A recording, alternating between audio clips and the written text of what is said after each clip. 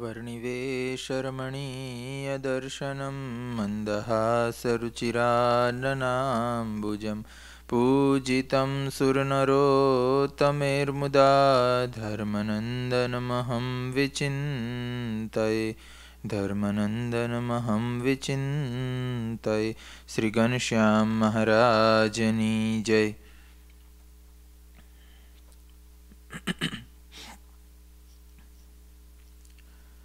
સદગુરુ નિષ્કુળાનંદ સ્વામી, ભક્ત ચિંતામણીના એકસો અઠ્યાવીસમાં પ્રકરણમાં લખે છે, દેશ દેશના દાસના લખિયા ગામને નામ, હવે લખવા પર ચા મારા હૈયામાં ઘણી હામ.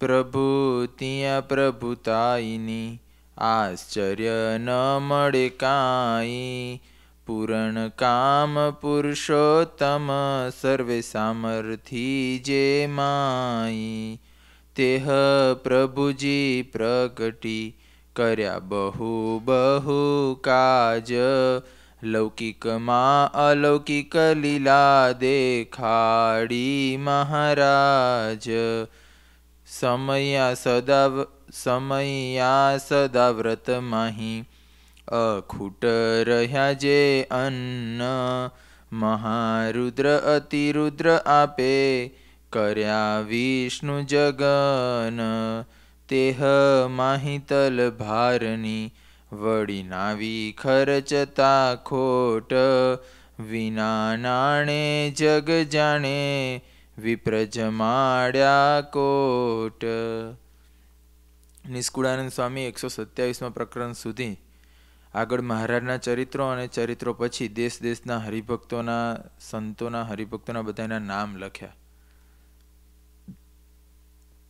એ ગામના નામ અને હરિભક્તોના નામ એ બધું લખીને પછી સ્વામી આવે કહે છે કે હવે મારે પરચા લખવાની મારા હૃદયની અંદર ઈચ્છા છે. એ બધા પરચા જે મહારાજના છે એને હું લખું છું.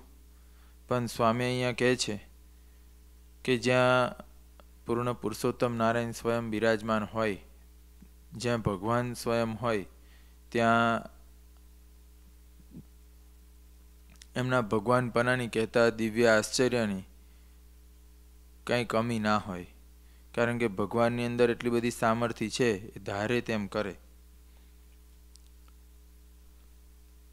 સ્વામી કહે છે કે મહારાજ એવા પૂર્ણ પુરુષોત્તમ પ્રગટીને બહુ બહુ બધા જુદા જુદા કાર્યો કર્યા. લૌકિકમાં ઘણી બધી અલૌકિક લીલા બતાવી. ઘણા મોટા મોટા સમયા કર્યા, સદાવ્રતો કર્યા. કોઈ જગ્યાએ ક્યારેય અનાજ, પાણી કંઈ ખૂટ્યું નહીં. વગર પૈસે, વગર તૈયારીએ અનેક મોટા યજ્ઞો તો કર્યા, પણ હજારો બ્રાહ્મણોને જમાડ્યા. એમને દક્ષિણાઓ પણ આપી. આ બધું લૌકિકની અંદર અલૌકિક લીલાનું હતું. પણ સ્વામી કહે છે કે મારે એવા બધા પરચાઓ નથી લખવા. એવા બધા પરચાઓ નથી કહેવા. એ બધા તો વચ્ચે કહેવાશે ત્યાં કહી દઈશ. પણ મારે તો બીજા પરચા કહેવા છે. કારણ કે સ્વામીને અહીંયા મહારાજનું અવતારીપણું બતાવવું છે. આવા બીજા પરચા તો બીજા અવતારોની અંદર પણ કદાચ જોવા મળે કે કોઈ જગ્યાએ જમવાનું ખૂટ્યું ના હોય કે કોઈ જગ્યાએ પૈસાની જરૂર હોય, ત્યાં પૈસા ખૂટ્યા ના હોય, વસ્ત્રની જરૂર હોય, ત્યાં વસ્ત્ર ના ખૂટ્યા હોય, આવા બધાય બીજા પરચાઓ તો બીજા બધાય અવતારો જ્યારે જ્યારે પૃથ્વી પર પ્રગટ થયા, ત્યારે એમના ચરિત્રોની અંદર એવા એવા પરચાઓ જોવા મળે. પણ નિષ્કુળાનંદ સ્વામીને તો મહારાજ જે સર્વ અવતારના અવતારી છે, જે પૂર્ણ પુરુષોત્તમ છે, એમના પરચા કહેવા છે અને એટલે એમના પરચા પણ એવા જ હોય કે જે બીજા અવતારોથી જુદા પડતા હોય.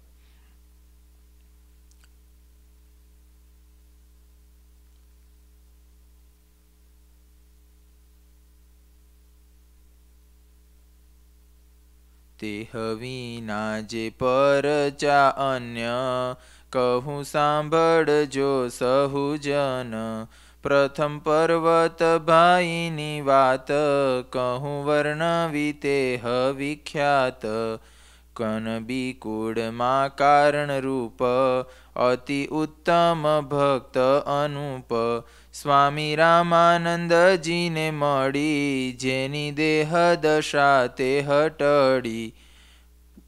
પછી સ્વામી સહજાનંદ જેહ પૂરણ બ્રહ્મ પ્રગટ્યા તેહ તે પ્રભુ પ્રગટની મૂર્તિ, તેથી ન રહેતી વેગળી વૃત્તિ.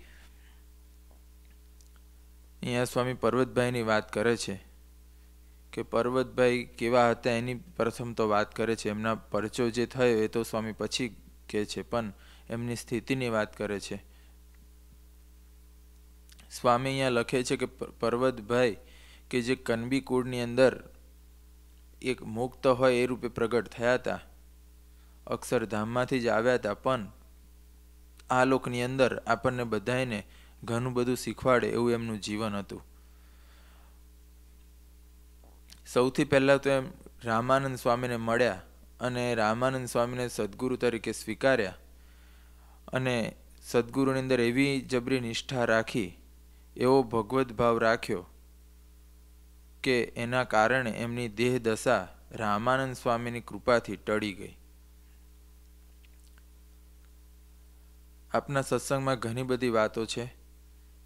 પર્વતભાઈ અને મુક્તાનંદ સ્વામી બંનેને એવી જબરી ગુરુનિષ્ઠા હતી. આમ તો રામાનંદ સ્વામીના સમયમાં જેટલો સત્સંગ હતો, બધા જ ભક્તો, સંતો બધાય રામાનંદ સ્વામીને જ ભગવાન માનીને ભજતા.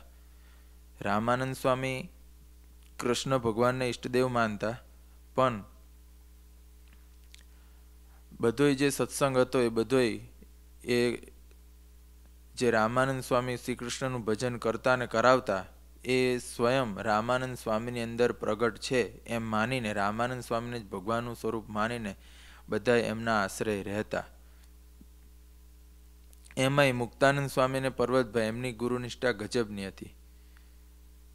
મુક્તાનંદ સ્વામીને પર્વતભાઈ એમને એવો નિર્ધાર કે કદાચ કોઈ હથેળીની અંદર રાધા કૃષ્ણ બતાવે, તોય રામાનંદ સ્વામી સિવાય બીજો કોઈ ભગવાન નહીં. આવી એમની ગુરુનિષ્ઠા અને એટલા માટે જ અહીંયા સ્વામીએ લખ્યું કે રામાનંદ સ્વામીને મળી જેમની દેહ દશા ટળી. દેહ દશા ટાળવી કહેતા મુક્તપણું લાવવું અને પછી આગળ પણ સ્વામીએ લખ્યું કે પ્રભુ પ્રગટની મૂર્તિ તેથી ન રહેતી વેગળી વૃત્તિ. જે મહારાજે વચનામૃત પ્રથમના પહેલાંની અંદર અખંડ વૃત્તિની વાત કરી કે ભગવાનના સ્વરૂપમાં એવી રીતે પોતાના મનની વૃત્તિ અખંડ રહેવી, એ તો કઠનમાં કઠન સાધન છે ને, એથી મોટી કોઈ પ્રાપ્તિ નથી. આમ જે સૌથી મોટામાં મોટી પ્રાપ્તિ છે એ પર્વતભાઈને પોતાના ગુરુ રામાનંદ સ્વામીના કૃપાથી કે રાજીપાથી મળી. એમ આપણને પણ જો મહારાજની મૂર્તિની અંદર આપણી વૃત્તિ રાખવી હોય તો આ સરળ અને સીધો સૌથી સહેલો ઉપાય છે. મહારાજે કઠનમાં કઠન સાધન કીધું કે સૌથી કઠન છે. કઠન એટલા માટે છે કે એનો રસ્તો બધાને મળતો નથી.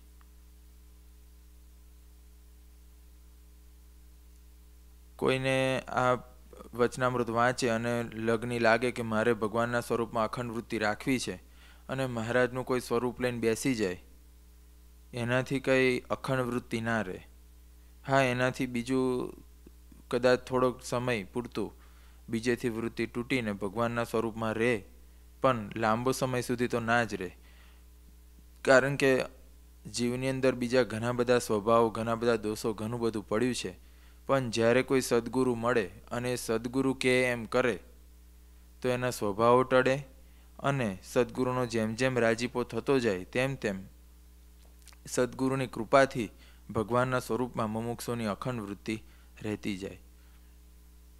એમ અહીંયા પર્વતભાઈ એમને પણ પોતાની દેહ દશા ભૂલ્યા અને ભગવાનના સ્વરૂપમાં અખંડ વૃત્તિ રહેતી થઈ.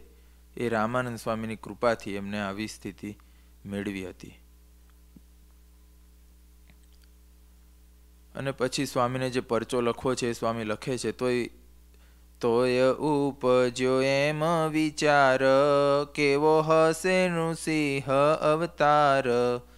પર્વતભાઈને મહારાજના સ્વરૂપમાં અખંડ વૃત્તિ રહેતી અને પોતે ખેતીનું કામ કરતા. એક દિવસ પર્વતભાઈને એવો વિચાર આવ્યો કે સત્સંગમાં જે ચોવીસ અવતારોની વાત થાય છે કે મહારાજના સ્વરૂપમાંથી બધા ચોવીસ અવતારો એ જુદા જુદા અવતારો મહારાજે ધર્યા અને જુદું જુદું કાર્ય કર્યું, તો એ બધા અવતારો કેવા હશે? એમાં એમને વિચાર આવ્યો કે નૃસિંહ અવતાર કેવો હશે? કારણ કે અડધું રૂપ સિંહનું ને અડધું રૂપ માણસનું એટલે આવું અવતાર એ કેવો હશે, કેવો દેખાતો હશે? એવો વિચાર આવ્યો. અને ભગવાનના સ્વરૂપમાં અખંડ વૃત્તિ રાખતા હતા. હતું અંતરે વિચાર સમેત ગયા કૃષિ કરવાને ખેત અને આવો જ વિચારે સહિત એ જ્યારે ખેતીનું કામ કરવા ખેતરમાં ગયા. પણ એમની વૃત્તિ તો એક મહારાજની અંદર હતી. આ વિચારમાં એક વખત આ આવ્યું કે નૃસિંહ અવતાર કેવો હશે, પણ એ નૃસિંહ અવતારના રૂપમાં કે એના વિચારમાં એમની વૃત્તિ સતત નહોતી. એમની વૃત્તિ તો ભગવાનના સ્વરૂપમાં હતી.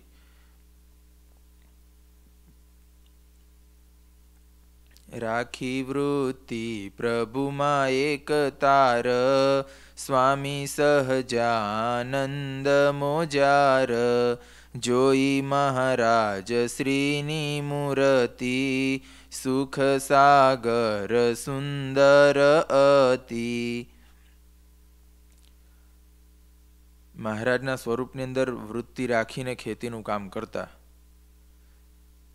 કહેતા કોઈ પણ આ લોકનું કામ કરતાં કરતાં પણ પર્વતભાઈને મહારાજની મૂર્તિમાં વૃત્તિ રાખવાનો અભ્યાસ હતો. અને આ બધો અભ્યાસ કહીએ કે એવી એમની સહજ પ્રકૃતિ કહીએ, એ બધું રામાનંદ સ્વામીની કૃપાથી એમને મેળવ્યું હતું. એના માટે એમને બીજા કોઈ સાધનો કર્યા નહોતા કે જેથી કરીને આ ભગવાનની મૂર્તિની અંદર વૃત્તિ રહે. અખંડ મહારાજ સાંભળ્યા કરે, એના માટે એમને બીજા કોઈ સાધનો કર્યા નહોતા. એમને એક સદગુરુની અનુવૃત્તિ રાખી હતી. એક સદગુરુને મન કર્મ વચને સેવ્યા હતા. એના કારણે રામાનંદ સ્વામીનો રાજીપો એમને મળ્યો અને રામાનંદ સ્વામીના રાજીપાને કારણે જ પર્વતભાઈની આવી સ્થિતિ હતી. કે કોઈ પણ કામ કરતા હોય, ખેતીનું કામ કરતા તોય ભગવાનમાં વૃત્તિ રહેતી. એમ આપણે પણ જો ભગવાનના સ્વરૂપમાં વૃત્તિ રાખવી હોય તો એનો આ સરળમાં સરળ ઉપાય છે કે સદગુરુની અનુવૃત્તિમાં રહીએ તો ઓટોમેટિક ભગવાનના સ્વરૂપમાં વૃત્તિ રહે. અને મહારાજ પણ વચનામૃતમાં કહે છે કે જે મોટા પુરુષની આજ્ઞામાં અનુવૃત્તિમાં રહે છે, એ જ આત્મસત્તા રૂપે વર્ત્યો છે. જેમ અહીંયા સ્વામીએ લખ્યું ને કે રામાનંદ સ્વામીને મળીને પર્વતભાઈની દેહ દશા ટળી. એમ આપણો દેહાત્મ ભાવ એ બધું જો ટાળવું હોય અને આત્મસત્તા રૂપે રહેવું હોય તો મહારાજ વચનામૃતમાં કહે છે કે મોટાની અનુવૃત્તિમાં કે આજ્ઞામાં રહીએ, એ જ આપણા માટે આત્મસત્તા રૂપે વર્તવા બરાબર છે. પછી તો પર્વતભાઈને મહારાજના સ્વરૂપમાં વૃત્તિ રહી અને વૃત્તિ રહેતા રહેતા પછી જ, પછી જોયું તેને આસપાસ દીઠો અતિ અતિ પ્રકાશ. એ ભગવાનની મૂર્તિના દર્શન ખેતીનું કામ કરતાં કરતાં ભગવાનની મૂર્તિનું ચિંતન કરતા હતા અને એટલે એમને આકાશની અંદર પ્રકાશ પ્રકાશ દેખાયો અને એના મધ્યે મહારાજની મૂર્તિ એમાં એમને દર્શન થયા. એમાં મહારાજની અતિ મનોહર મૂર્તિના એમને દર્શન થયા અને પછી એ મૂર્તિની અંદરથી અતિશય તેજ પહેલાં તો નીકળ્યું. તેજના મધ્યે જ મહારાજની મૂર્તિ હતી તેમ છતાંય ફરી એ મહારાજની મૂર્તિમાંથી તેજ તેજ તેજ નીકળ્યું. આજુબાજુ બધે તેજ તેજ છવાયું અને એ પ્રકાશની અંદર પર્વતભાઈને ચોવીસે અવતારના દર્શન થયા. બધા ચોવીસે જુદા જુદા અવતારોના દર્શન પર્વતભાઈને થયા. મચ્છ, કચ્છ, વારાહ, નૃસિંહ, વામન, પરશુરામ રામ કૃષ્ણ બુદ્ધ કલકી આ બધા અવતારો એમના દર્શન પર્વતભાઈને મહારાજના સ્વરૂપમાંથી બધાએ એક પછી એક નીકળતા હોય એવા દર્શન થયા. અને મહારાજના સ્વરૂપમાંથી જે તેજ નીકળ્યું એ બધા તેજની અંદર અવતારો એક પછી એક બધા ગોઠવાઈ ગયા. એવા દર્શન પર્વતભાઈને થયા અને પછી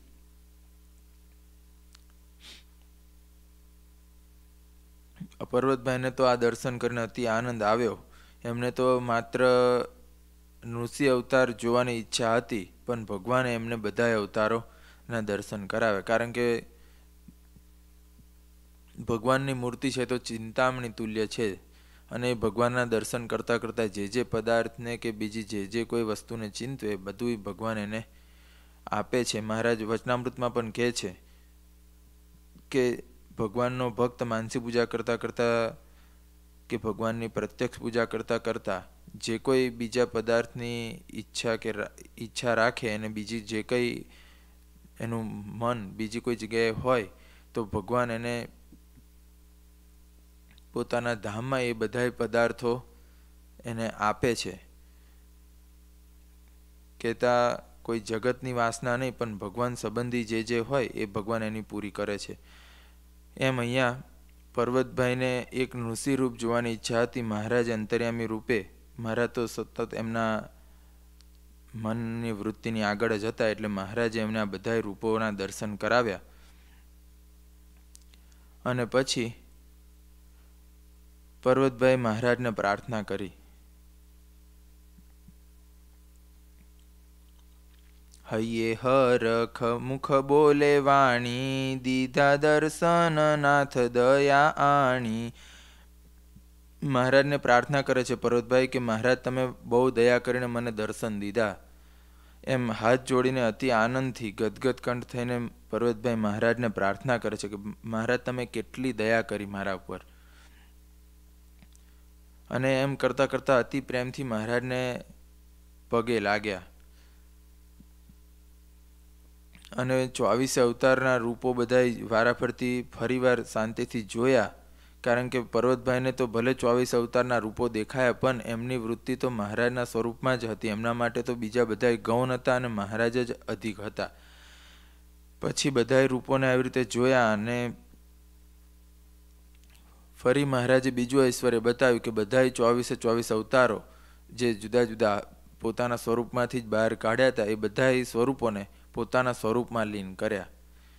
નિષ્કુળાનંદ સ્વામીને આ પરચો લખવો હતો કારણ કે બીજા બધાએ ઐશ્વર્યો કે બીજા બધા કંઈક અનાજ ના ખૂટવું, વસ્ત્ર ના ખૂટવા, પૈસા ના ખૂટવા, એ બધું ઐશ્વર્ય તો બીજા અવતારોએ પણ બતાવ્યા હોય.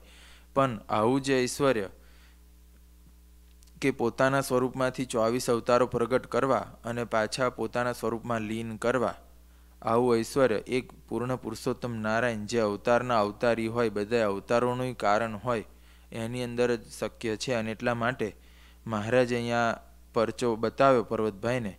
એ અહીંયા નિષ્કુળાનંદ સ્વામી લખ્યો, કારણ કે નિષ્કુળાનંદ સ્વામીને તો મહારાજ સર્વોપરી છે, એના ગુણ ગાવા છે.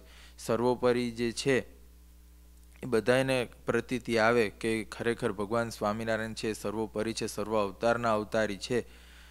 અને કેવી રીતે અવતારના અવતારી છે એ ખ્યાલ આવે, એના માટે સ્વામી અહીંયા પરચો લખ્યો છે.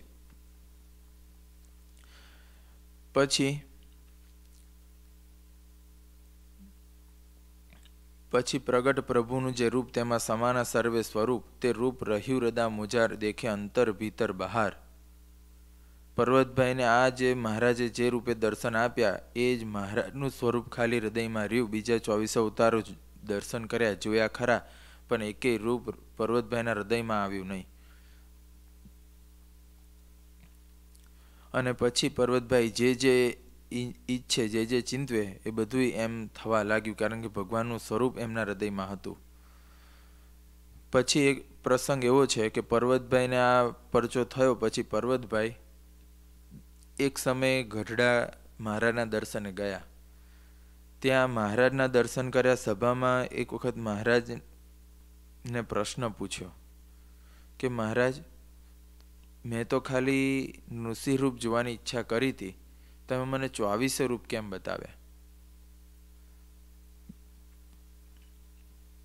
એટલે મહારાજે એમને કીધું કે, પર્વતભાઈ, તમે નૃસિંહ રૂપને જોવાની ઈચ્છા કરી અને જો હું ફક્ત તમને ઋષિ રૂપ જ બતાવત, તો તમને તરત બીજો સંકલ્પ થાત કે બીજા બધા ચોવીસ અવતારના રૂપો કેવા હશે. એટલે મેં તમને ચોવીસે રૂપો બતાવ્યા. પછી પર્વતભાઈ બીજો પ્રશ્ન પૂછ્યો કે, મહારાજ આ ચોવીસે રૂપ તો મેં તમારા અંદરથી નીકળતા અને તમારામાં લીન થતા આવા દર્શન કર્યા. બધાના એક એકના રૂપો મેં જોયા. અને બધાય તમારી અંદર પાછા લીન થયા. એટલે મહારાજ, મને એક સંશય છે કે આ બધાય અવતારો અને તમારું સ્વરૂપ, અવતારી સ્વરૂપ, એ બેને મારે કેવું સમજવું? એ બે એક જ સમજવું કે કેવું સમજવું? ત્યારે મહારાજે સ્વયં પર્વતભાઈને વાત કરી.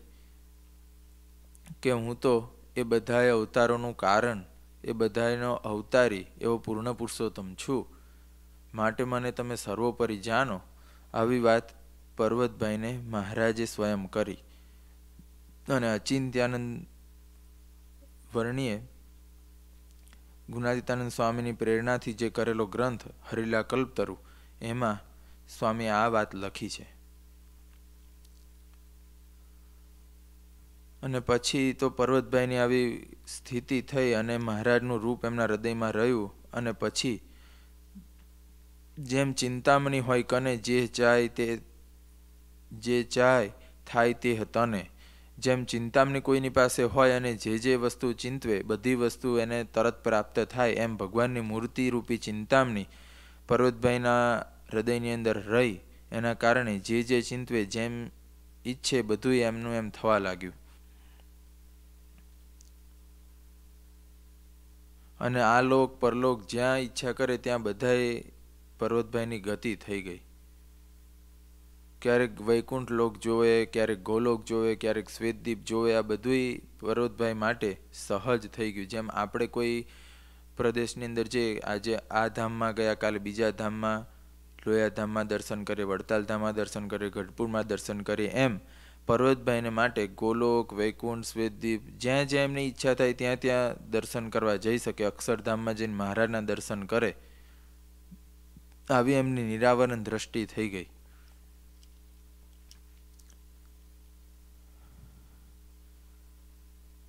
આવી રીતે તો પર્વતભાઈને અગણિત પરચાઓ થવા લાગ્યા. અને સ્વામી કહે છે, આ તો પરચો કહ્યો મેં એક એવા બીજા થયા છે, અનેક પર્વતભાઈને તો આવા અનેક પરચાઓ થયા છે. પણ સ્વામી કહે છે કે, આ મારે સર્વોપરી મહારાજને બતાવવા હતા સર્વોપરીનો પરચો લખવો તો મહારાજને અવતાર અને અવતારી વચ્ચેનો ભેદ મારે બધાને જણાવવો હતો એટલા માટે આ પરચો મેં લખ્યો છે, નહીં તો પર્વતભાઈને તો બીજા અનેક પરચા થયા છે. પર્વતભાઈને બીજા અનેક પરચા થયા છે એમ કહીને સ્વામી અહીંયા ટૂંકમાં વાત લખી છે, પણ પર્વતભાઈનું જીવન જોઈએ તો બીજા ઘણા ઘણા પરચાઓ એમના જીવનમાં જોવા મળે. કેવા પરચાઓ આવા માત્ર નહીં કે દિવ્ય મહારાજે દર્શન આપ્યા હોય. પણ એક વખત પર્વતભાઈ મહારાજના દર્શને ગરડા આવ્યા. અને એમને એમ કે મહારાજના દર્શન મને નિત્ય થશે અને મહારાજની સંતોની કથા વાર્તાનો લાભ મળશે. એમ સમજી પર્વતભાઈ ઘણા સમય સુધી ત્યાં ગરડામાં રોકાયા. અહીંયા મહારાજના દર્શને આવે, મહારાજને એમ કે બધા હરિભક્તો ભેગા કે લાડુબા જીવબાને ત્યાં પર્વતભાઈ ઠાકોર જમાડતા જમાડતા હશે. અને લાડુબા જીવબાને એ બધાને એમ કે પર્વતભાઈ તો રોજ મહારાજના દર્શને જાય છે એટલે બ્રહ્મચારી એમને થાળ આપતા હશે, એટલે મહારાજની પ્રસાદી જમતા હશે. એટલે મહારાજ એમને કોઈ દિવસ પૂછ્યું નહીં. અને લાડુબા, જીવબા કે બીજા દાદા ખાચર આદિ ભક્તોએ કોઈ પૂછ્યું નહીં કે પર્વતભાઈ, તમે ઠાકોરજી ક્યાં જમાડો છો? એવું કોઈ કાંઈ પૂછ્યું નહીં. અને એમ કરતાં કરતાં અઠવાડિયું નીકળી ગયું. તો એ પર્વતભાઈ નિત્ય મહારાજના દર્શન કરતા મહારાજની વાતો સાંભળતા, મહારાજનું રૂપ પોતાના હૃદયમાં ધારતા આમ કરતાં કરતાં અઠવાડિયું વીતી ગયું. પછી મહારાજ તો અંતર્યામી રૂપે બધું જાણતા, પણ એક દિવસ સભામાં મહારાજે પર્વતભાઈને પૂછ્યું કે, પર્વતભાઈ, તમે આટલા દિવસ અહીંયા રોકાયા તો તમે ક્યાં ઠાકોર જમાડો છો? એટલે પછી પર્વતભાઈએ કીધું કે, મહારાજ, સાચું કહું તો તમારી મૂર્તિનું ભોજન જે હું જમું છું, તમારી મૂર્તિની અંદરથી મને બધું મળી રહે છે. તમારા મૂર્તિના દર્શન કરીને મને અનાજ પાણીની જરૂર પડતી નથી. આ પણ એક મોટો પરચો છે, કારણ કે આ કંઈ નાની મોટી, નાની કંઈ સ્થિતિ નથી. આ ઘણી મોટી સ્થિતિ કહેવાય કે એક મહારાજની મૂર્તિનું જ ભોજન કરીને એક મહારાજની મૂર્તિ જમીને રહેવું, અનાજની કે બીજું કાંઈ જમવાની ઈચ્છા ના થવી કે જરૂરી ના પડવી, અને એક ભગવાનની મૂર્તિના દર્શનથી જ તૃપ્તિ થઈ જવી. એ કેટલી મોટી વાત કહેવાય. આવા આવા પરચા મહારાજ પર્વતભાઈને ઘણા ઘણા પૂર્યા છે. પણ આગળ સ્વામીએ લખ્યું એમ, મહારાજ તો પર્વતભાઈને પછીથી મળ્યા, પણ તે પહેલાં રામાનંદ સ્વામીને મળીને એમને આવી સ્થિતિ કેળવેલી હતી. અને એટલા માટે એમને મહારાજની અંદર મહારાજ મળતા મહારાજની મૂર્તિમાં આવું અસાધારણ હેત થયું અને મહારાજની મૂર્તિમાં અખંડ વૃત્તિ પણ રહેવા લાગી. એ બધુંય સદગુરુની કૃપાથી થયું. સદગુરુની કૃપા વગર આધ્યાત્મિક જગતની અંદર કોઈને કાંઈ મળતું નથી. અને આટલું બધું હોવા છતાંય પર્વતભાઈને ક્યારેય એવું અભિમાન આવ્યું નથી કે હું તો આટલું કરી શકું છું કે મને મહારાજની મૂર્તિ અખંડ દેખાય છે કે જો લેસ માત્ર પણ આવું અભિમાન આવે તો મહારાજ એનાથી તરત વેગળા થઈ જાય. મહારાજ ક્યારેય, મહારાજ કહે છે કે અમને ભક્તિનો પણ અહંકાર ના ગમે. તો આ પર્વતભાઈને એવો ક્યારે અહંકાર આવ્યો નહીં. નહીં તો જો એવું થાય તો પર્વતભાઈના હૃદયમાંથી, પર્વતભાઈની પાસેથી મહારાજ તરત જ દૂર જતા રહે. પર્વતભાઈનો દીકરો એક દિવસ બધા તીર્થોના દર્શન કરવા જતો અને બધા તીર્થો પર્વતભાઈના દર્શન કરવા આવતા એ પ્રસંગ પણ આપણે ઘણીવાર કથામાં સાંભળ્યો છે. આવી અલૌકિક સ્થિતિ પર્વતભાઈની થયેલી, એ એમના સદગુરુ રામાનંદ સ્વામીની સેવાએ કરીને રામાનંદ સ્વામીનો રાજીપો મેળવ્યો, તેનાથી થયેલી હતી. આજે આપણે પણ સત્સંગની અંદર જે કંઈ સુખ અનુભવતા હોઈએ, કે આપણને સત્સંગની અંદર કોઈ મોટા કરતા હોય, મોટા માનતા હોય કે કોઈ ગમે તેવું આપણને માન સન્માન આપતા હોય, એ બધુંય આપણે જે જે કાંઈ મેળવીએ, બધુંય મોટા પુરુષની આપણને મળેલા સદગુરુ એની કૃપાથી છે, એની દ્રષ્ટિએ કરીને છે. એમ જો આપણે અખંડ વિચાર રાખીએ તો એ જ સદગુરુની કૃપાથી એક દિવસ આપણને પણ મહારાજ અખંડ આપણને સુખ આપે. આપણે મુમુક્ષુ એ બધાએ નિત્ય એક વાતનો વિચાર રાખવો કે હું સત્સંગની અંદર જે કાંઈ છું, આજે મને મહારાજની મૂર્તિનું જેટલું કંઈ સુખ આવે છે કે હું ભગવાનના સ્વરૂપને થોડું ઘણું જે લેસ માત્ર સમજી શક્યો છું, કે આ સત્સંગની અંદર શાસ્ત્રને કંઈ વાંચી શકું છું કે કંઈ પણ હું આ આધ્યાત્મિક જગતમાં છું, એ બધું મારા સદગુરુને લઈને છું. મુક્તાનંદ સ્વામી કેવા મોટા સદગુરુ, કેટલા મોટા આપણે બધાએ આજે માનીએ કે મુક્ત, અક્ષરધામના અનાદિ મુક્ત ને બધું કરીએ, પણ સ્વામીએ પોતાના જીવનથી આપણને શીખવાડ્યું કે મુક્તાનંદ સ્વામી પોતે પણ રામાનંદ સ્વામીની કોપિનનો આડબંધ એનો ટુકડો પોતાની પૂજામાં રાખતા. કેમ? સ્વામીને તો મહારાજ મળ્યા. મહારાજમાં તો સ્વામીને તો અનાદિકાળથી જ નિશ્ચય હતો. પણ સ્વામી રામાનંદ સ્વામીનો પ્રસાદીનો ટુકડો રાખતા કેમ કે રામાનંદ સ્વામીને રોજ એને દર્શન કરે ને સ્વામીને એમ થાય કે હું આજે જે કહે છું બધું રામાનંદ સ્વામી મારા ગુરુ, એની કૃપાએ કરીને છું. એટલા માટે મુક્તાનંદ સ્વામી એ રાખતા. પછી બીજા સાધુઓની અનસમજણને જોઈ સ્વામીએ કે આના કારણે બીજાને અનસમજણ થાય છે, ત્યારે સ્વામી એનો ત્યાગ કર્યો.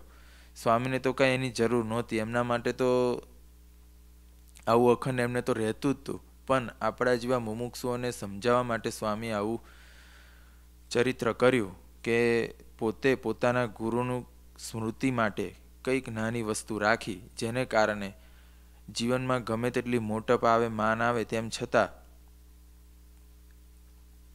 ક્યારે એવું ના થાય કે આ બધું મારી લાયકાતે કરીને છે કે મારી આવડતે કરીને છે કે મારી બુદ્ધિએ કરીને છે. પણ એવો સતત અનુસંધાન રહે કે જે કંઈ છે તે બધું મારા સદગુરુની કૃપાનું છે. એમ અહીંયા સ્વામી પર્વતભાઈના પરચા લખે છે. અને બીજો પરચો અહીંયા સ્વામી લખે છે.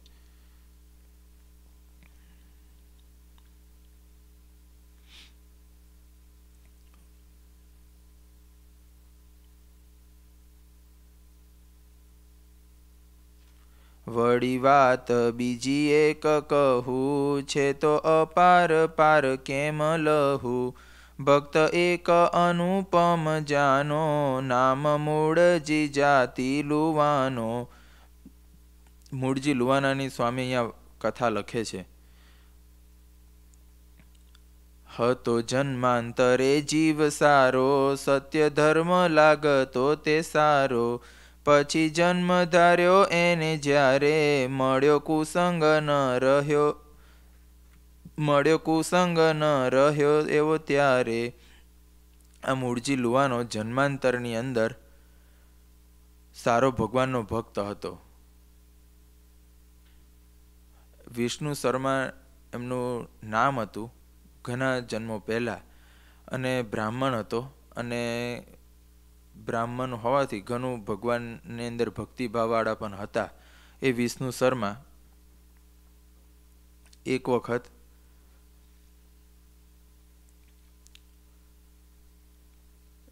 ઋષિના આશ્રમમાં જાય છે એમના દર્શન કરવા. એમને સાંભળેલું કે ઋષિ બહુ તપસ્વી છે રોજ યજ્ઞ આદિ કરે છે અને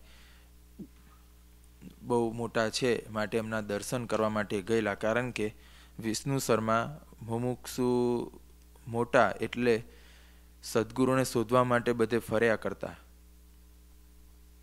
અને આ ઋષિના મોટા જાણીને ઋષિના આશ્રમમાં આવ્યા, પણ તે સમયે તે ઋષિ ભગવાનનો યજ્ઞ કરતા હતા. અને આ વિષ્ણુ શર્મા પોતે પણ બહુ વિદ્વાન હતા.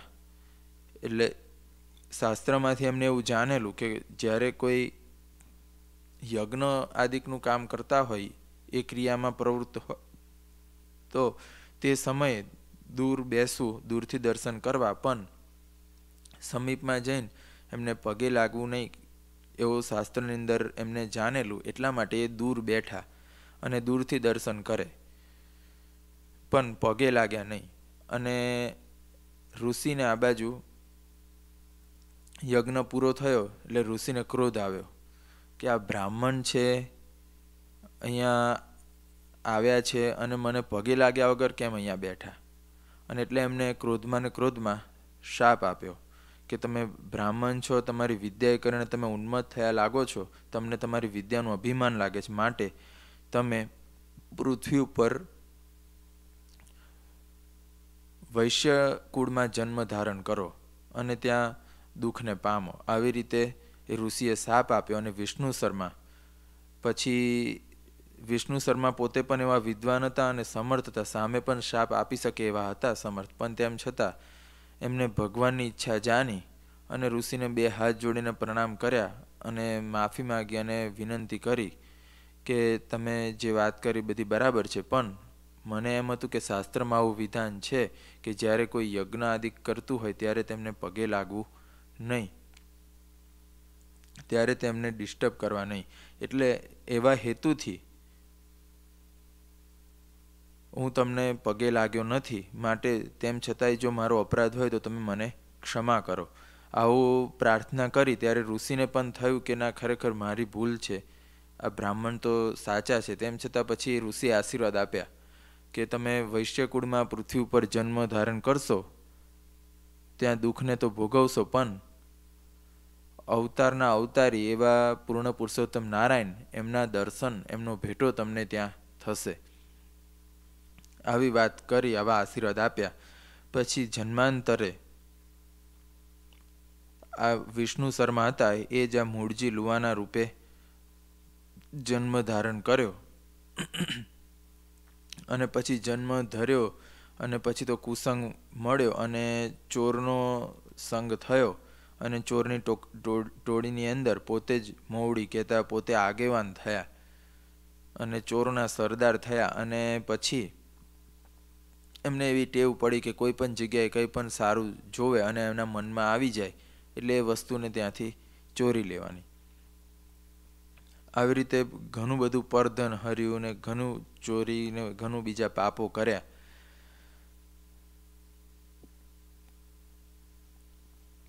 એવા બીજા અવગુણ બહુ જાને જન જગતમાં સહુ.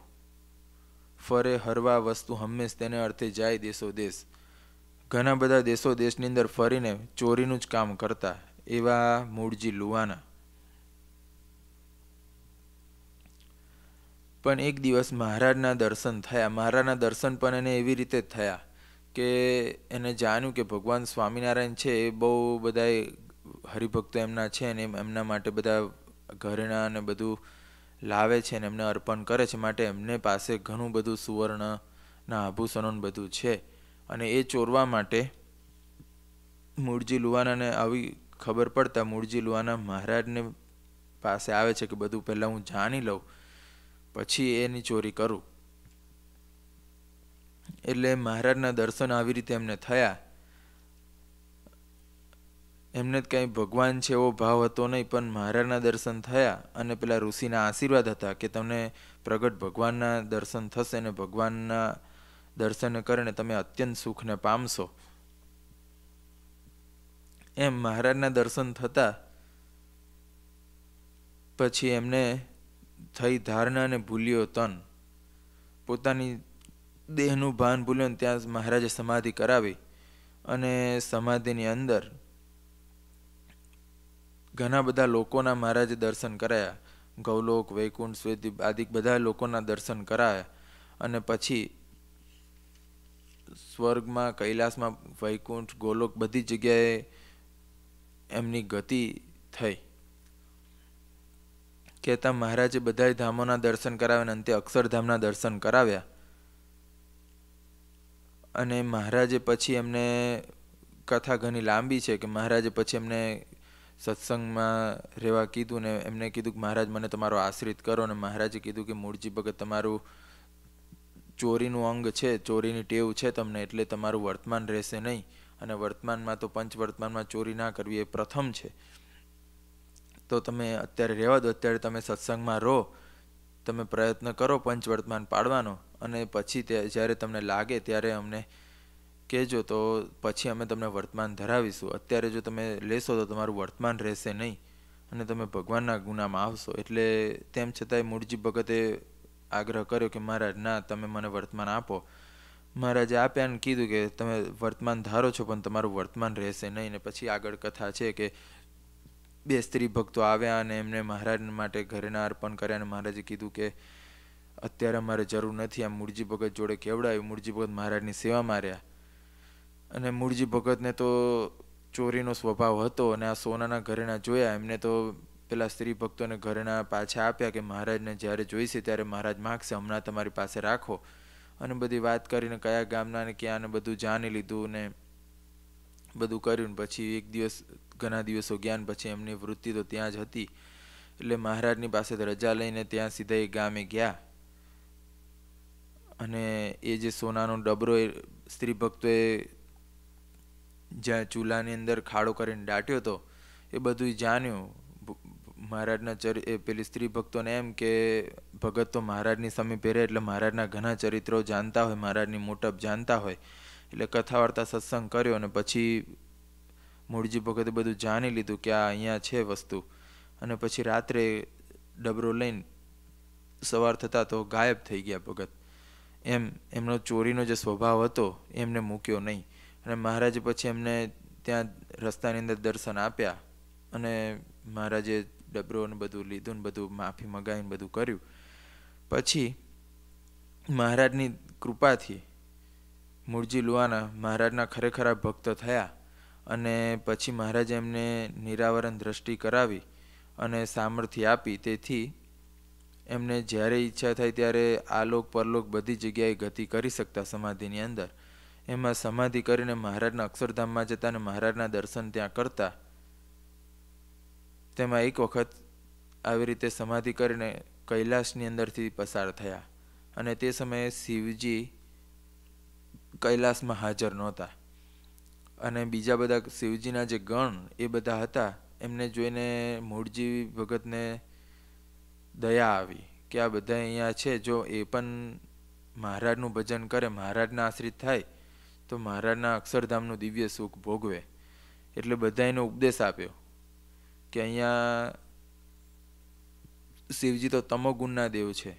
એટલે જો અહીંયા તમે એમનું ભજન કરશો, એમના આશરે અહીંયા પડી રહેશો, એનાથી કંઈ તમારી મુક્તિ થવાની નથી. માટે તમે પૂર્ણ પુરુષોત્તમ નારાયણ ભગવાન સ્વામિનારાયણ જે અત્યારે પૃથ્વી ઉપર પ્રગટ છે, એમનું ભજન કરશો, તો તમે એમના દિવ્ય અક્ષરધામના સુખને પામશો. આવી વાતો કરી અને મૂળજી લુવાના ત્યાંથી મહારાજના દર્શન કરવા અક્ષરધામમાં જતા રહ્યા. પછી જ્યારે શિવજી ફરી કૈલાસમાં આવ્યા, ત્યારે એમના ગણોએ શિવજીને વાત કરી કે આવી રીતે કોઈ ભગવાનનો ભગત આવે તો અને આવી બધી વાતો કરતો હતો તમારા વિશે આવું કહેતો હતો કે તમે તમોગુણના દેવ છો અને એનાથી કલ્યાણ ના થાય. અને પછી શિવજીને ક્રોધ આવ્યો. કે હવે ફરીવાર જ્યારે એ આવે ત્યારે વાત છે. એટલે શિવજી ત્યાં ધ્યાન રાખીને ઊભા રહ્યા કે જ્યારે ફરી મૂળજી લુવાના અહીંયાથી ગતિ કરે ત્યારે એને રોકવા છે. એટલે ફરીવાર જ્યારે મૂળજી લુવાના સમાધિની અંદર આવ્યા અને મહારાજના દર્શને જતા હતા ત્યારે રોક્યા.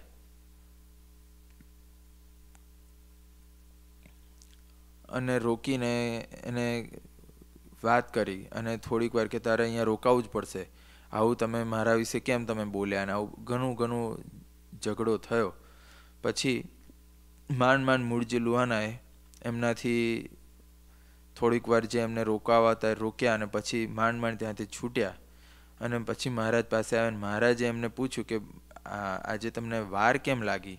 સમાધિમાં તમે પહેલાં તો દર્શને વહેલા આવી જતા, હવે કેમ વાર લગાડી? એટલે મૂળજી લુહાનાએ મહારાજને પ્રાર્થના કરી કે, મહારાજ મને રસ્તાની અંદર શિવજી મળે છે અને એ મને રોકી રાખે છે. એ મને કહે છે કે હું તને અહીંથી જવા નહીં દઉં આગળ, ભલે તને ઉતાવળ હોય. પછી મહારાજે મૂળજી લુવાનાને કીધું કે હવે તમે જ્યારે શિવજી મળે ત્યારે મારા, મારી, મારા સ્વરૂપને સંભાળજો. તમને બળ આવશે અને તમે એક પણ પળ વધારે ત્યાં રોકાશો નહીં. સીધા મારા દર્શન માટે સીધા આવજો. આવી વાત કરી અને પછી સાંભળીને મૂળજી ભગત ચાલ્યા. ફરી સમાધિની અંદર શિવજી મળ્યા ને શિવજીએ ચાલ્યા કે ક્યાં ઉતાવળા જાઓ છો, અહીંયા રોકો. ત્યારે મૂળજી લુવાના કહે છે, પહેલાં વિનંતી કરે છે હાથ જોડીને કે મહારાજ, તમે મને રહેવા દો, મને જવા દો. મારે મહારાજના દર્શને જવું છે. હું મારે આજે ઉતાવળ છે. હું તમારો રોક્યો રોકાવ એમ નથી આજે. મને જવા દો. એટલે શિવજી ક્રોધે ભરાયા અને શિવજીએ કીધું કે હું તને જોઉં છું આજે તું કેવી રીતે જાય છે. તું મને શું સમજે છે? એવી બધી વાત કરે છે અને પછી થોડીક વાર સમય બગાડે છે એટલે મૂળજી લોહાનાને પણ ક્રોધ આવ્યો. એને મહારાજની મૂર્તિ સંભાળીને કીધું કે મને જવા દો, નહીં તો હું આજે તમારી જઠા જટા જે છે એને ચૂંથીશ. એમ બંને જણ પહેલાં તો વાત કરતાં કરતાં એકબીજા સાથે ઝઘડે છે, શિવજી અને મૂળજી લુવાના, ભગવાનના ભક્ત. બે જણ આવી રીતે ઝઘડે છે ને પછી બોલતા બોલતા બંને યુદ્ધની અંદર આવી જાય છે. બંને એકબીજાને બાથોબાથ આવીને એકબીજા પર પ્રહાર કરે છે. અને બે એટલા બળ્યા કે કોઈ કોઈને નમી દેમ હતું નહીં. પછી મૂળજીએ ભગવાનના સ્વરૂપનું ચિંતન કર્યું અને મહારાજના સ્વરૂપનું ચિંતન કર્યું મહારાજને પ્રાર્થના કરી અને મહારાજને સંભાળીને શિવજીને ઉપાડીને પછાડ્યા અને એનો મોટો કડાકો થયો. તે છેક સ્વર્ગલોક સુધીને કડાકો સંભળાયો. બધા દેવતાઓ ભયભીત થયા કે આ શું થયું? આવો મોટો કડાકો થયો અને જટા પકડીને મૂળજી લુવાનાએ શિવજીને પછાડ્યા અને જટા એમની ચૂંથાઈ ગઈ. પછી શિવજીને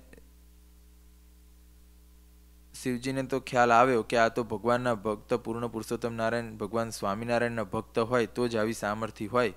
એટલે મૂળજી ભગતને માફી માગી અને વિનંતી કરે છે કે તમે ભગવાનના ભક્ત છો, ભગવાન સ્વામિનારાયણના ભક્ત છો. એટલે મૂળજી લુવાને કીધું, હા, હું ભગવાન સ્વામિનારાયણનો ભક્ત છું. અને શિવજીએ કીધું, એટલે જ તમે મને જીતી શકો છો, નહીં તો હું કાળનોય કાળ એને કોઈ જીતવાને સમર્થ નથી. એની સામે ઊભું રહેવા માટે પણ કોઈ સમર્થ નથી આવી વાત કરે છે.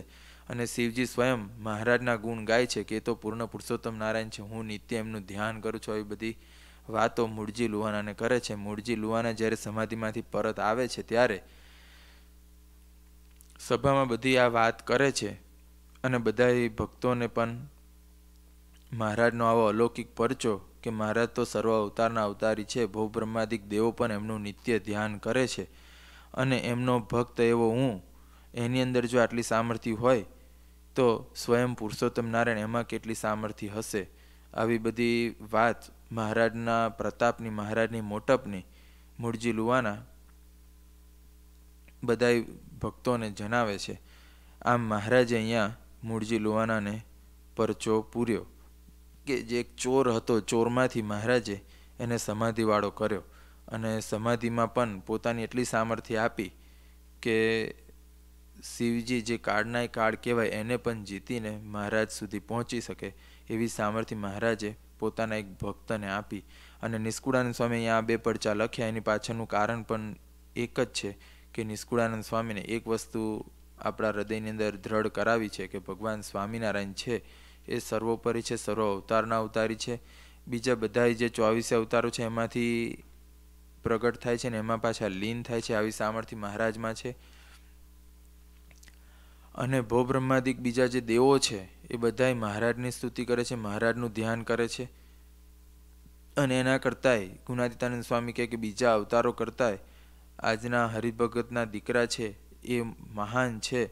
એ વાત પણ અહીંયા નિષ્કુળાનંદ સ્વામીએ બતાવી કે મૂળજી લુવાના કે જે શિવજીને યુદ્ધની અંદર જીત્યા અને એમને પછાડીને ભગવાનના દર્શને પહોંચ્યા. આવી મહારાજના અલૌકિક સામર્થ્યની વાત નિષ્કુળાનંદ સ્વામીએ કરી છે. ઇતિ શ્રીમદ એકાંતિક ધર્મ પ્રવર્તક શ્રી સહજાનંદ સ્વામી શિષ્ય નિષ્કુળાનંદ મુનિ વિરચિતે ભક્ત ચિંતામણી મધ્યે શ્રીજી મહારાજે પર્વતભાઈ તથા મૂળજીને પરચા પૂર્યા. ઇનામે એકસો ને અઠ્યાવીસમું પ્રકરણ થયું. શ્રી ઘનશ્યામ મહારાજ